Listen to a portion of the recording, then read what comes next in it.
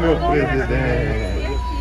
Aniversariante aqui, presidente. Opa. Ana Vitória. Olha, meu. Essa pequenininha 23 aqui. anos, 23 Quantos anos. você Quantos anos? Dia 23. Ah, Tudo isso? Cinco, tudo isso. Ah, presidente, ela Bom só dia, queria uma foto. E parabéns, presente, Só presidente. isso. Dois dias aí atrasado, mas parabéns. É. Ontem foi da, da, da querida esposa dele. Ah, Tudo bem? Tira a máscara pra tirar? E aí, como é que vai ser? Você vai dar essa honra pra essa pequena? Eita, Ana, como é que vai? Leva pra aqui. Aqui, luz aí. Assim, assim. Fica aqui, ó. Assim. Eita, vai, mãe. Não acredito, Ana Vitória. Como- O que, que você vai falar pra falar- Não não? Ele escutou a senhora falando. Já ouvi. Tudo bem? Pessoal, situação.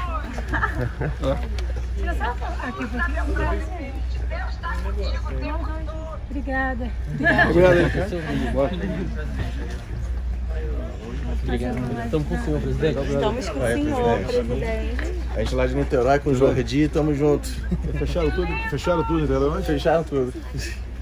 É, fecharam pra quê? Tava funcionando mais, mais normalmente, assim, o shopping e tudo, mas agora estão Fecharam. dificultando um pouco mais as coisas lá. Tem uma matéria, não sei se é, acho que é Record, ontem à noite. É parabenizar, né? Ciclos mostrando quem está em casa, o que está acontecendo. O pessoal mais pobre, né? As restrições para tentar conter o coronavírus provocaram um efeito perverso. A pobreza triplicou no Brasil. São mais de 27 milhões de brasileiros sem renda enfrentando a pandemia. E não tem segredo, né, Cris? Sem poder trabalhar, o dinheiro não vem. Dia após dia, a comida está sumindo dos pratos de muitos brasileiros. Um pouco de arroz, um pouco de feijão, uma lata de sardinha. A última vez que Luzinete comeu carne foi em dezembro.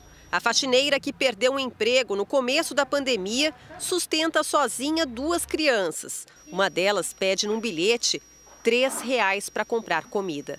A senhora quer olhar a minha geladeira? Tem um pouco de feijão e arroz. Tem. E água. Só. O que acontece hoje aqui na casa da Luzinete se repete em muitos lares das periferias da maior cidade do país. Geladeira praticamente vazia. Nesta comunidade, no ano passado, 5 mil famílias pediam ajuda e recebiam cestas básicas em ações sociais. Nos últimos três meses, esse número dobrou e as doações caíram 70%. Os pedidos que a gente mais recebe é vagas para emprego e alimento. Então, realmente está difícil. Aumentou a procura por alimento. A gente não tem eh, por- eh, de onde tirar. A pobreza triplicou no país. Segundo o levantamento da Fundação Getúlio Vargas, no meio do ano passado, eram 9 milhões e meio de brasileiros dentro da população pobre. Já agora em março, esse número chega a mais de 27 milhões que sobrevivem com até 246 reais por mês. daquele pouco que ainda eles conseguiam amealhar, eh, realizando um trabalho, um pequeno trabalho ou outro, agora com o isolamento social simplesmente terminou e aí agora eles ficam na dependência né, de programas sociais como auxílio emergencial para poderem sobreviver. Nós estamos no principal acesso da Rocinha, na zona sul do Rio de Janeiro. Essa é uma das portas de entrada da comunidade. Desde o início da pandemia, o desemprego e a fome, que já eram uma realidade por aqui, ficaram ainda mais graves.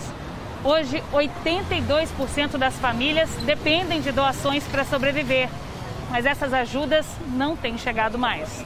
A ajuda cessou, mas a doença não cessou. A doença continua e você não tem para onde correr. É com o salário mínimo da aposentadoria que a dona Letícia se mantém e tenta ajudar as filhas e os netos. Todos estão desempregados. Minha filha ela ia começar a trabalhar em março do ano passado, mas foi tudo cancelado. A minha neta, que também trabalhava, teve que se afastar do trabalho. Meu neto tem 19 anos, também não está conseguindo trabalhar. Quem vive o dia a dia da comunidade sabe que está cada dia pior. Hoje eu tenho uma base de mais umas 100 a 150 pessoas me pedindo aí ajuda. Numa das comunidades mais carentes da capital baiana, cenas como essas que vimos no Rio de Janeiro também são cada vez mais comuns. João é porteiro, mas também vende pãezinhos para complementar a renda. Faz os quitutes dentro de casa. Alguns ingredientes com que trabalha são raros na mesa. A gente só vê carne uma vez por, por semana e olhe lá. Se trazer o sustento para casa está difícil, até para quem ainda tem emprego, imagina a situação de quem atravessa esse momento sem trabalho. Aqui na Bahia, quase 20% da população está desempregada. É o maior índice do país e também o maior já registrado no estado nos últimos anos. Sem trabalho, muitas famílias acabam com a geladeira vazia e recorrendo à ajuda de parentes para ter o que comer. Minha irmã me deu um pouco de feijão, eu fiz aqui, fiz o arroz, o arroz já acabou. A gente almoçou. Agora tem isso, para de noite para a gente comer de novo. Duríssima realidade. É, nós somos médicos, a gente tem até percebido muito disso. Assim, o pessoal que está ficando em casa está tá sofrendo muito. Né? Por que criminalizam o, o, o, o que uhum. criminalizar, você não pode Exatamente. falar nada. Verdade. É. é uma pena. Mas a gente vai vencer vai, isso tudo aí. Vamos tirar as fotos dele. É, eu estou surpreendendo da Alemanha. Que antiga, hein, filho? Essa é de 1898. Eu trouxe especialmente para o senhor.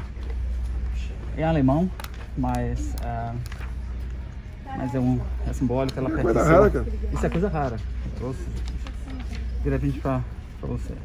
Está muito conservado isso aqui. Pertenceu inclusive a, um, a infantaria, que nasceu lá atrás no. Esse aqui é, não foi. No reinado. Isso foi editado há mais de 100 anos. Está muito, 1800, tá, 1800... tá muito conservado para.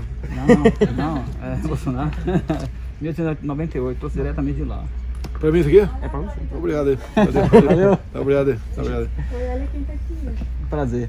Eu só queria tirar uma foto com o meu filho. Né? Ah. É, tira aqui uma foto, por favor.